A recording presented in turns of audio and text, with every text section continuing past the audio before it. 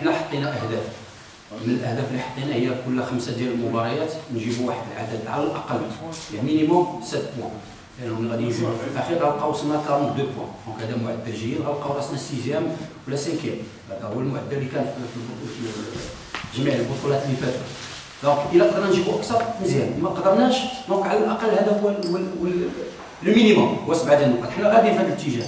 لأنه خمس مباريات الأولى جبنا ستة ديال النقاط. خمس مباريات الثانية جبنا ثمانية. وعوضنا الخصاص اللي كان في الخمسه الأولين.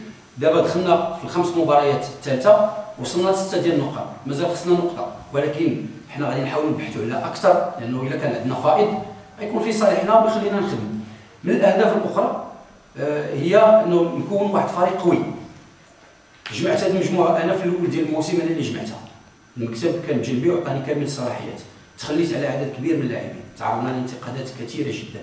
ولكن هذه المجموعة أنا ثيق فيها. donc في الميركاتو ما غاديش ندخل على شي لاعبين آخرين. نفس المجموعة. اتضح لينا أنه حنا une équipe de contre حنا تنعتمدوا على les contre-attaques لما تنواجهوا فرق اللي تتكون بتنظيم دفاعي محكم ما تنقدروش أنه نخلقوا الفرص. اذا مرحلة الميركاتو في عوض ما نخصصوها للانتدابات والبحث la trêve hivernale غنخصوها للعمل أكثر على إيجاد حلول لما نواجهوا فرق مثلا لما لعبنا مع واد زم ومع خنيفرة اللي رجعوا لنا للخلف ما لقيناش حلول. donc خصنا نخدموا في هذا الاتجاه.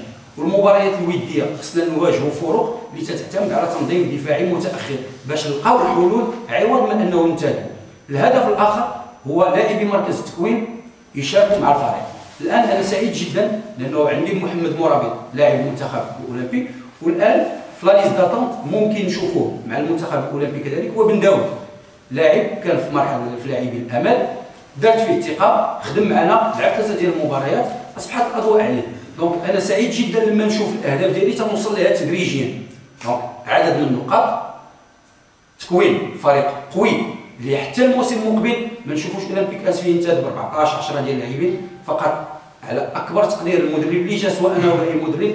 ما يفوتش اربعه ديال اللاعبين لأنه عنده l'ossature ومعدل السن صغير. ونشوف كيف قلت لك في المنتخبات. سي أمين بن هاشم ولا